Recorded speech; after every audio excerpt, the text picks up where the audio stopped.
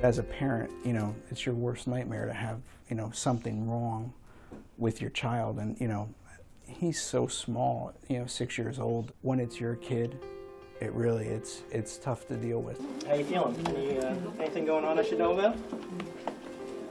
No? Uh, I saw that, um, that picture that you made, I loved it. That was awesome. We brought it with us today. Oh, you did? Yeah. Excellent. And some other pictures.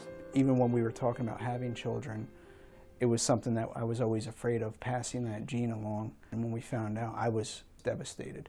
And the day that we were actually here for the surgery was the scariest day of my life. For patients with this uh, genetic syndrome, we like to remove the thyroid before the thyroid cancer develops. The recommendation for Brady was to have his thyroid gland removed at the time he came to see us um, because the uh, tumor marker level had started to increase in him. All right. That looks wonderful. I'm going to tap on you a little bit, okay? Good. How's that? Not too bad, huh? Does that tickle? All right, so how about that? Does? All right, good. I'm going to tap on you again. Tap on you again. Good. Just to see him, you know, when he was like knocked out and stuff, that was, it was brutal. But then he bounced back so quick, you would never know. A, a week later, if besides, you know, the red mark on his neck, he would have never known that he had had anything done. Because we were able to remove it before thyroid cancer had developed, um, this should not be an issue in his lifetime.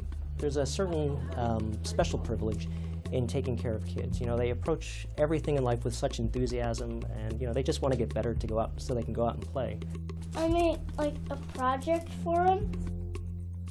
It's like my hero award project. I put him on there.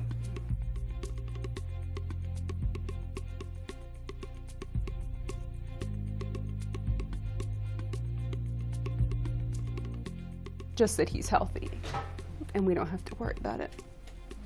He can just grow up and be a healthy kid, right?